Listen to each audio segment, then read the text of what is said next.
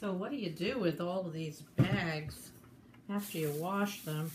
I found you can take a toilet paper tube and it helps if you cut it a little bit and then just put a bunch of them in there. Make yourself a little bag dispenser.